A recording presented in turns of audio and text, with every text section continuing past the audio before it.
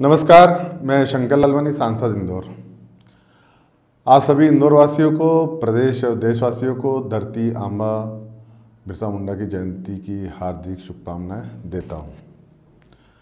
धरती आंबा बिरसा मुंडा ने अंग्रेज़ों की दमनकारी नीतियों के विरुद्ध सभी जनजातियों को खड़ा कर दिया था।